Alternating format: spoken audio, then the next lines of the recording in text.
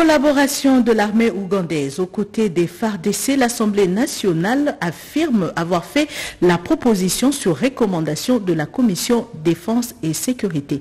Voilà tout pour les titres. Mesdames et messieurs, bonjour et merci de suivre ce journal de 7 heures sur la RTNC. La situation sécuritaire, économique et la fraude minière sont les points débattus au cours de l'entretien que le président de la République, Félix Antoine Tshisekedi, a eu hier jeudi avec le gouverneur intérimaire euh, du Lualaba, Fifi Masuka, en séjour à Kinshasa. Reportage Pierre Kibambeso Moïsa. La fraude minière dans les lois là-bas doit être enrayée en vue de permettre à cette province d'accroître les recettes de l'État et assurer son développement. Ce sont notamment les directives du président de la République Félix Antoine Tshisekedi Chilombo à madame le gouverneur intérimaire du Doualaba Fifi Masuka. Elle dit avoir présenté au chef de l'État la situation générale de la province sous le plan sécuritaire, économique et minier. Sur le plan sécuritaire, la province du, du Lualaba, comme vous le suivez vous-même, elle est relativement calme, mais notre bataille, ce sont les fraudes minières.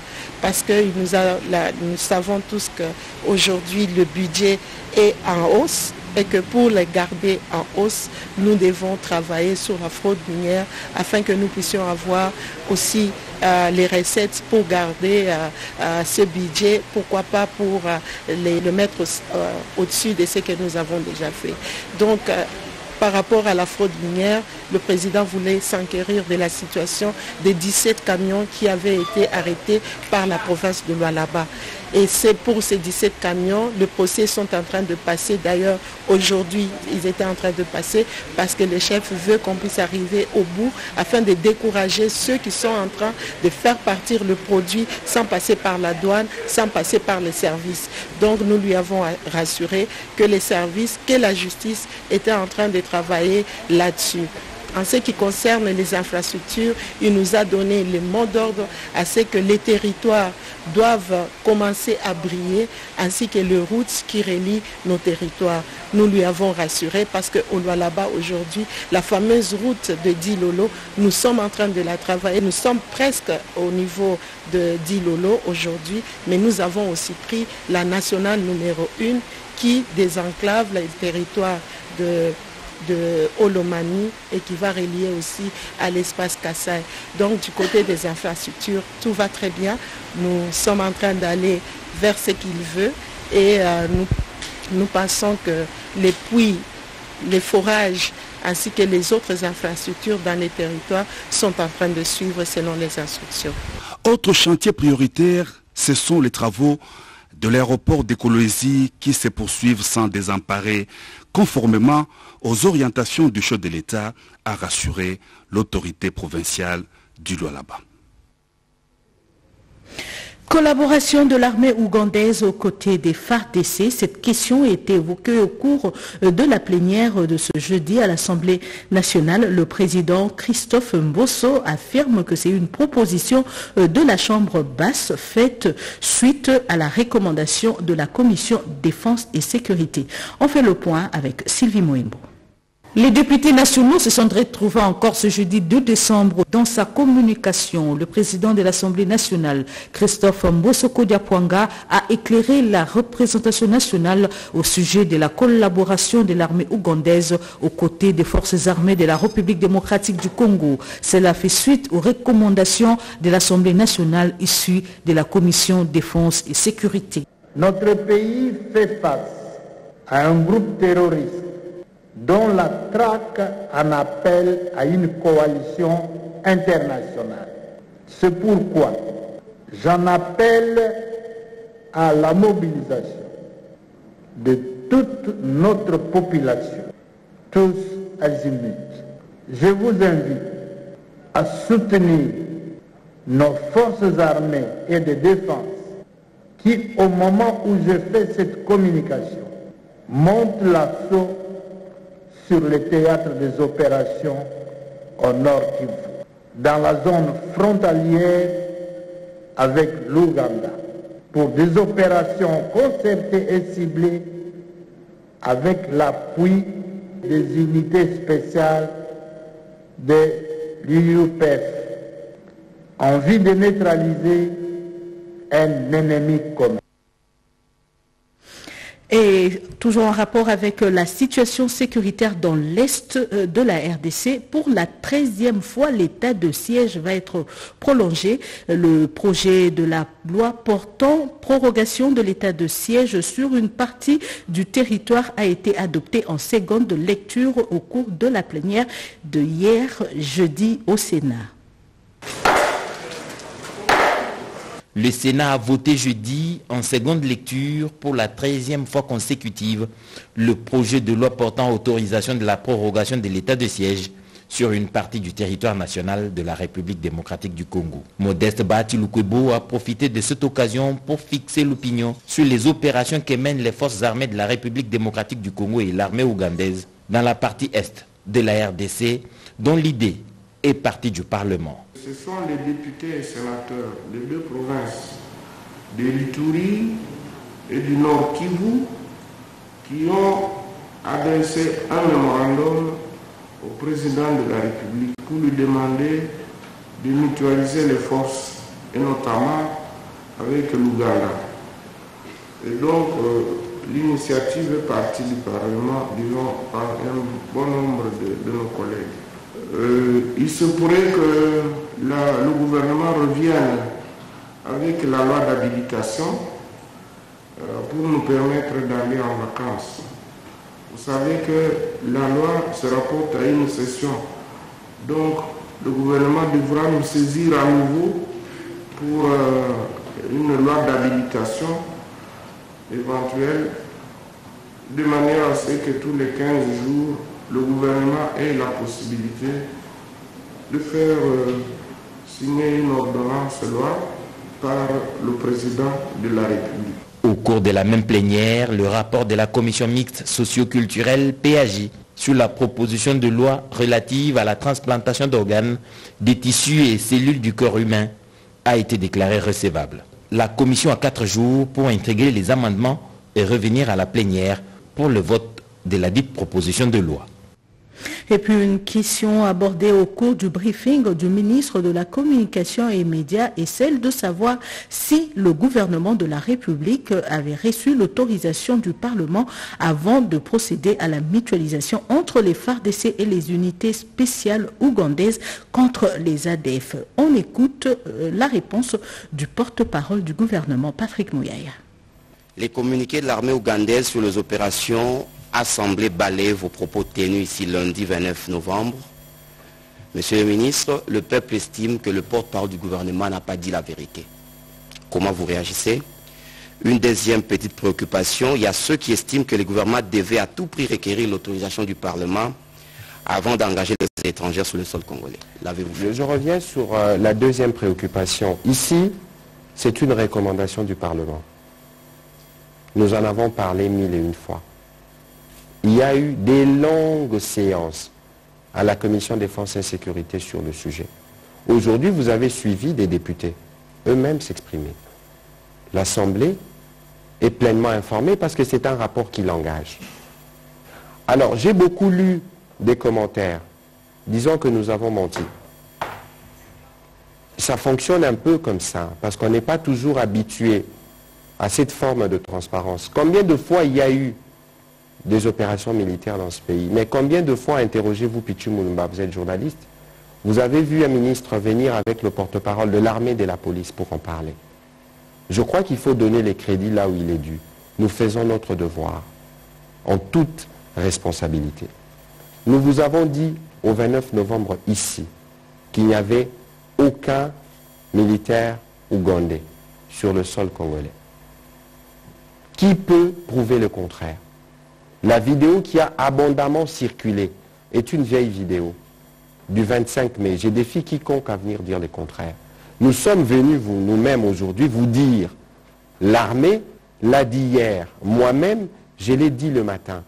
Vous savez, nous faisons de la communication, nous voulons être transparents, mais il faut savoir que nous parlons des opérations militaires. Des opérations militaires et tout ce que nous disons, tout ce que nous faisons, les ennemis le suivent, y compris cette communication. Et donc, il est de notre devoir de tenir compte du fait que nous devons, nous, dès par notre communication, concourir à la réussite des opérations. Et donc, que nous nous ayons dit le 29 qu'il n'y avait pas de troupes ou des militaires ougandais en RDC, et que le 30, ils soient là, nous l'avons dit nous-mêmes, ça veut dire que la situation a évolué parce que nous avions déjà le plan. Lorsqu'on dit action concertée et ciblée, je l'ai dit la veille, j'ai prévenu que nous avions déjà le plan opérationnel. Les renseignements donnaient déjà les positions où ces réfugiés, tous ces terroristes. Il n'y a pas une procédure présentement en République du Congo qui édicte que lorsque nous voulons avoir un appui de forces étrangères pour venir chez nous, qu'il y ait l'autorisation préalable du Parlement. Je vous mets à défi de me montrer cet article-là dans quelle législation. Tu ne prouveras pas. Parce que moi-même, j'ai fait toute la nuit pour chercher, je n'ai pas trouvé. C'était de la sensation à l'époque. Mais qu'est-ce qui est demandé C'est que le président informe les membres du bureau du Sénat et de l'Assemblée nationale. Avez-vous posé la question au président de l'Assemblée et du Sénat qui n'ont pas été informés? Et pour le cas d'espèce, ce sont eux qui ont demandé. Ils ont fait la recommandation. Mais comment vous ne voulez pas accepter qu'ils ont fait la recommandation? Ils disent, vous voulez que nous soyons informés Nous vous demandons nous-mêmes d'aller auprès pour la mutualisation des forces. Et vous avez entendu le président de la commission des forces le dire. Et vous voulez maintenant poser la question de l'autorisation. Oubliez ce débat-là.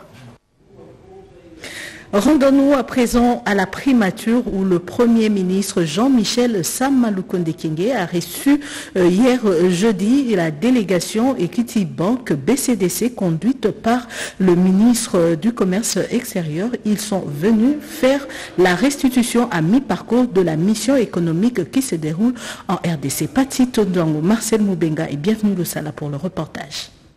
C'est pour une restitution à mi-parcours de la mission économique qui se déroule en République démocratique du Congo depuis le 30 novembre 2021 que le directeur général de Kitty Bank BCDC a été reçu par le Premier ministre et chef du gouvernement Jean-Michel Samalou Konde Kienge. Pour Célestin Moukeba, cette mission qui a mis ensemble 253 investisseurs venus du Kenya face aux entrepreneurs congolais avait entre autres comme objectif de présenter les opportunités d'affaires qu'offre la République démocratique du Congo. Ces investisseurs sont vraiment des champions euh, dans l'Afrique euh, de l'Est et l'Afrique centrale. Donc ils sont venus voir dans quelle mesure accompagner le pays pour son développement. Donc c'est une très très bonne opportunité. Il y a les partenariats qui sont noués avec les institutions de développement. Il y a des fonds de garantie qui sont mobilisés par exemple avec euh, les institutions de développement comme la Banque mondiale, comme AFC et les autres partenaires pour accompagner les petites et moyennes entreprises à se développer. Donc il y a un engagement fort qui s'inscrit dans la vision de la Banque d'être euh, le champion de la prospérité socio-économique des Africains avec une mission euh, de pouvoir rehausser les niveaux de vie, redonner la dignité et étendre les opportunités de création de richesse. Il a été très content de voir les, réalisations et surtout euh, le côté pragmatique. Le deuxième volet présenté au chef de l'exécutif national, c'est le moyen mobilisé pour accompagner les investisseurs. Restons toujours à la primature où le chef du gouvernement, Jean-Michel Samaloukonde, a échangé avec une délégation du Comité international des Jeux de la francophonie conduite par la directrice Zeina Mina. Ils ont, ils ont échangé sur les préparatifs de ces Jeux qui auront lieu en août 2022. Pati Tondouango. Accompagné des experts, la directrice du comité international des Jeux de la francophonie en mission d'expertise il y a trois semaines en République démocratique du Congo a rencontré le Premier ministre Jean-Michel Sama Lukonde Kienge. Zeynamina a fait une mise au point au chef du gouvernement de la situation actuelle des 9e Jeux de la francophonie qui se tiendra en août 2022. Euh, Aujourd'hui, nous avons souhaité éclairer le Premier ministre sur la situation actuelle des Jeux, des enjeux, euh, vraiment des échéanciers euh, pour pouvoir vraiment répondre euh, à la volonté de son Excellence président de la République pour pouvoir tenir les Jeux en août 2022. Ah ben, il n'y a pas que l'espoir, il y a la volonté. Aujourd'hui, nous avons vu un Premier ministre entouré du ministre de l'intégration régionale, de tout son cabinet, et il nous a promis que les moyens seront mis à disposition pour accompagner le directeur national des Jeux. C'est un Premier ministre déterminé à voir ces Jeux réussir à tout prix, qui est la délégation des Einamina trouvée à la primature. La police nationale congolaise et la direction générale de migration vont bientôt bénéficier des équipements de travail, mais aussi des formations au modèle serbe. Le vice-premier ministre, ministre de l'Intérieur et Sécurité, Daniel Asselo, qui séjourne à Belgrade, en Serbie, a discuté la faisabilité de ce partenariat avec son collègue serbe ayant en charge l'intérieur. C'est un reportage commenté par José Baitombo. Les débuts congolais exécutés à l'entrée du palais serbe, honneur militaire et passage de troupes en revue, c'est de cette belle manière que la Légion d'honneur de la Serbie a accueilli le vice-premier ministre, ministre de l'Intérieur et Sécurité de la RDC. Après l'étape protocolaire, les patrons de la territoriale congolaise et son semblable serbe ont eu quelques heures de discussion pour réfléchir à la manière de renforcer la coopération dans les domaines qui relèvent de leur ministère. Il s'agit notamment d'une coopération entre les deux polices et une collaboration en matière d'immigration et bien d'autres domaines, ont annoncé Daniel Asselokito et Alexander Vulen. La possibilité d'intensifier la coopération entre nos deux pays. Sinon, évaluer et renforcer les accords qui existent entre les deux pays dans ces domaines. Nous avons parlé des sujets euh, allant vers euh, l'augmentation de la sécurité des citoyens de l'un pays et de l'autre et qui rendra nos membres plus éduqués, plus formés et plus équipés. Pour marquer d'un cachet spécial cette coopération bilatérale, les deux parties ont échangé de cadeaux, symbole d'un partenariat qui se veut solide. Les temps d'un réchauffement de relations donné il y a quelques mois par le chef d'État de la Serbie et de la République démocratique du Congo a ouvert un champ d'action pour un partenariat dans plusieurs domaines, notamment celui de la sécurité entre les deux pays. La RDC a participé aux travaux de la huitième conférence ministérielle Chine-Afrique qui se sont tenues à Dakar au Sénégal. Le vice-premier ministre, ministre des Affaires étrangères, Christophe Lutundula, a porté haut l'étendard de la RDC jusqu'à la clôture de ce forum sino-africain. Doris Mozo, Henri Amouli. Du 29 au 30 novembre, le chef de délégation de la Chine, 53 pays africains et de la Commission de l'Union africaine ont pendant deux jours apprécié le développement de relations sino-africaines. Depuis 21 ans, le Forum sur la coopération sino-africaine a fortement contribué au développement de relations Chine-Afrique. Les deux parties se sont engagées à œuvrer pour une coopération de qualité et joindre les efforts pour vaincre la COVID-19 et favoriser la reprise économique économique et le développement post-Covid-19. Plusieurs voix se sont succédées pour faire des propositions afin d'améliorer ce partenariat gagnant-gagnant. À la tête de la délégation de la RDC, Christophe Lutundula, ministre des Affaires étrangères et de la coopération internationale, a donné la position de la République démocratique du Congo. La RDC, en bas sur l'instruction du président de la République, soutient et approuve les quatre documents qui ont été préparés, en particulier la vision partagée de la coopération et le plan d'action de Dakar.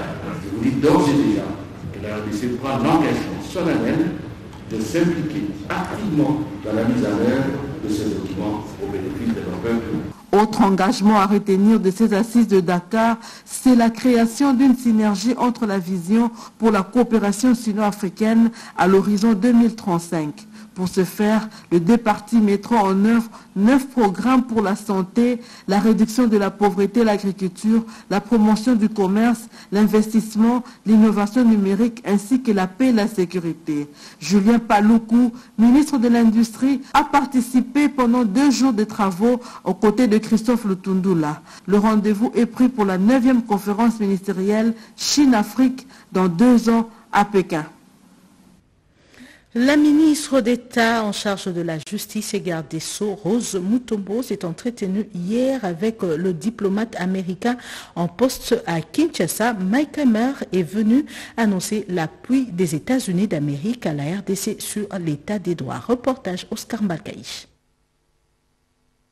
Il est venu formuler son plaidoyer sur l'adoption de la loi portant traite des êtres humains. L'ambassadeur des États-Unis en poste à Kinshasa, Mike Hammer, a au cours de l'entretien avec la ministre d'État de la Justice, Rose Mutombo Kiese, annoncé la tenue d'un sommet sur la démocratie entre le président Joe Biden et plusieurs chefs d'État, y compris Félix Antoine Tshisekedi Chilombo.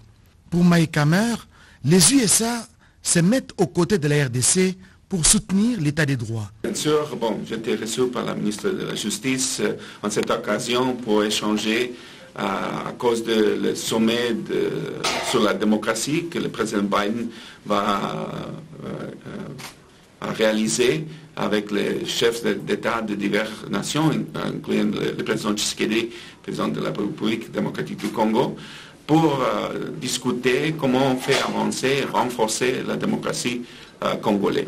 Et vraiment, dans le secteur euh, très important de, euh, soutenir les efforts de renforcer l'état des lois, l'état des droits, c'est vraiment important que les États-Unis écoutent quelles sont les priorités de la ministre et comment on peut travailler ensemble pour mettre fin à la corruption, pour mettre fin à l'impunité, pour faire avancer la justice en RDC. L'exploitation et la traite des personnes se caractérisent par la prostitution et autres formes d'exploitation sexuelle, les prélèvements des organes, des travaux forcés, l'esclavage et les pratiques analogues. Projet Kin Elenda, un atelier d'immersion s'est tenu à Kinshasa. Question de mettre en place les stratégies pour la matérialisation de ce projet financé par la Banque mondiale. Christine Lenzo.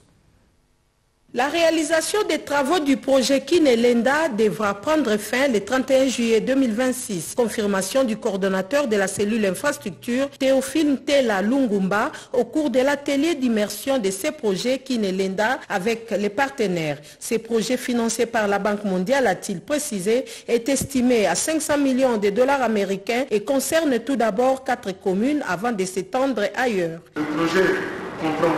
Quatre composantes dont les principales sont les suivantes. Les infrastructures vont absorber sur les 500 millions que M. ici nous a annoncé, qui sont les ressources que le projet met à la disposition de la ville de Kinshasa. Les infrastructures de base vont prendre 355 millions. Au cours d'une projection, les participants ont suivi les différentes étapes qui entourent la matérialisation de ces projets. Occasion pour le ministre d'État en charge de l'urbanisme, Pius Mwabilou, qui a présidé cette cérémonie, de saluer la dite initiative. Lenda est la réponse positive aux désidératas de cette population. Pour ce faire, il faut que chacun mette du sien. Pour rappel, Kinelenda a pour mission de faire de la capitale une ville capable de répondre aux déficits en infrastructure, de combler les lacunes en matière d'aménagement urbain et renforcer la gouvernance et la protection des populations. Partage d'expériences dans le domaine de l'environnement, des infrastructures et dans le domaine socio-économique entre Istanbul et Kinshasa. Le gouverneur de la ville de Kinshasa, Jantini Gobila, séjourne en Turquie.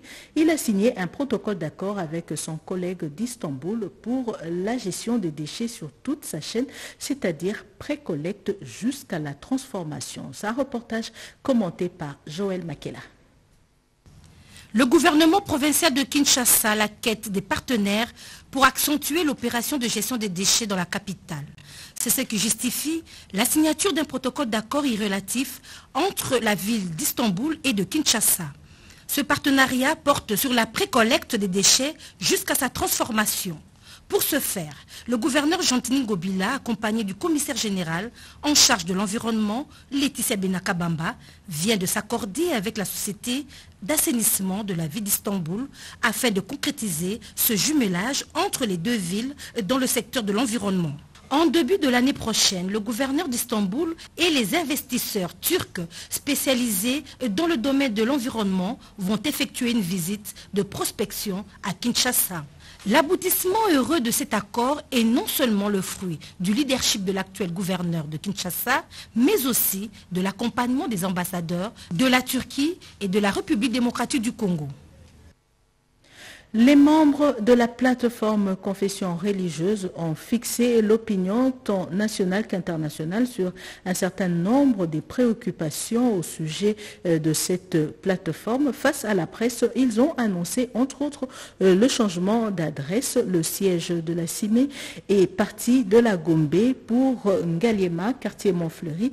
L'évêque général de Dokamba est désigné à la tête de cette plateforme. Ceci après euh, l'autorisation le, le, retrait de la SENCO et la suspension de l'SCC. Reportage Luxon Kabbalah. Les chefs des confessions religieuses, membres de la commission d'intégrité et médiation électorale, CIME, se sont réunis pendant 72 heures pour évaluer la situation de leur plateforme, à l'issue de laquelle une position claire est définie. Les membres de la plateforme prennent acte de ces décisions prises librement par le deux confessions religieuses en conformité avec l'article 13 de la charte de la plateforme. Les membres de la plateforme ont par conséquent procédé à la désignation des nouveaux animateurs de leur structure pour redynamiser la plateforme et lui permettre de jouer son rôle dans ce contexte mouvementé du pays conformément à l'article 15 de sa charte, élu l'Église du réveil du Congo, représentée par son représentant légal, l'évêque général d'Israël Dodon Kamba à la présidence de la plateforme, et la communauté islamique en RDC, représentée par son imam représentant légal, chef Abdallah Mangala Nwaba, à la vice-présidence. Atelier d'échange des organisations de la société civile sur les droits des personnes vivant avec handicap. Euh, c'est celui qui a été organisé le mardi dernier. C'est par la Fédération mondiale des associations des personnes vivant avec handicap sous l'égide des ministres en charge des personnes vivant avec handicap. Reportage Jean-Pierre Dolodé-Mazon que les organisations de la société civile, notamment celles des personnes vivant avec handicap et autres groupes marginalisés, influencent les lois, les politiques, les comportements et les normes sociales en vue d'atteindre une sécurité sociale inclusive et ce, dans une collaboration étroite avec les décideurs. Voilà l'objectif global de ce projet UAR Able, financé pour 5 ans par la Hollande et mis en œuvre par un consortium dans la province du Sud Kivu. Ce projet a été présenté au cours d'un atelier d'échange autour des droits des personnes vivant avec handicap mardi 30 novembre à Kinshasa. Nous avons eu comme attente que d'abord les participants puissent apprivoiser le projet. De même, nous avons pu euh, voir quels sont les défis par rapport à l'examen de la loi actuelle euh, au niveau de l'Assemblée nationale et au Sénat. UAR Ebol traduit par Nous sommes capables étant un projet centré sur le plaidoyer pour l'amélioration des conditions de vie des personnes en situation de handicap, d'où la nécessité de son appropriation par les concernés. Et là, nous avons essayé un peu de, voir quelles sont nos attentes par rapport à la loi que nous attendons et comment donc euh, nous allons nous euh, jouir de tous ces droits. Cet atelier fait avancer le processus de l'opérationnalisation d'un cadre interministériel de mise en place et de mise en application des lois en faveur des personnes vivant avec handicap au niveau national. En dépit des fortes averses qui ont arrosé le territoire de Mbanzangungu au Congo central le week-end dernier, l'amphithéâtre de l'université Congo a vibré au rythme d'une matinée scientifique sanctionnée par la collation des grades académiques où plus de 250 lauréats ont bouclé leur cursus académique et universitaire. Témoin de l'événement, Pierre Ombouyo Saïdi. Ils étaient au nombre de 253, licenciés et médecins mis sur le marché du travail par l'Université Congo le week-end dernier à Mbanzangungu dans le Congo central. Comme il est de coutume dans cette université, elle a rassemblé tous ses lauréats dans son site de Mbanzaluvaka, situé à quelques 2 km de la ville de Mbanzangungu. Débuté en pompe à travers la ville par ses étudiants. La cérémonie de collation des grades académiques à l'Université Congo a connu 30 temps forts qui resteront à jamais gravés dans la mémoire de tous les participants. D'abord, les discours de son recteur, le professeur Odilon Gamela, qui a peint les tableaux du déroulement de ce qu'a été l'année académique 2020-2021, saluer la bravoure et la rigueur des étudiants, l'abnégation des membres du corps professoral, mais aussi et surtout adresser ses vifs remerciements à la Robank et à la Fondation Raouji. En effet, cet alimentaire a toujours été soutenu par le groupe Raouji, non seulement à travers des dons et prêts pour le financement des différentes constructions, mais aussi au travers du soutien qu'il a apporté à l'organisation de la présente cérémonie de collation des grades académiques. Ensuite, des étudiants de l'Université Congo, Joseph Mukulungunzu, des sciences de l'information et de la communication, qui a obtenu 86%, Eloïs Kivu Dianzenza, ayant fini avec 81% en sciences agronomiques, ont bénéficié du prix d'excellence de la Fondation Raoji, soit 3000 dollars à chacun. Au nom du peuple Congo, propriétaire de cette université communautaire, le président de l'Assemblée provinciale du Congo central, a été valablement représenté par l'honorable Nsalambi, rapporteur de cette institution qui n'a pas manqué des mots d'encouragement à adresser aux oreilles lauréats. Et c'est la fin de ce journal réalisé par Pecho Mubenga Akasongo et Mamita Bangolou. La partie technique était assurée par Yannick Yangumba et Gila Moukoko. Merci de nous avoir suivis. Le prochain rendez-vous d'actualité, c'est tout à l'heure à 13h30 avec Jojo Ndibou. Excellente suite de programme sur la RTNC.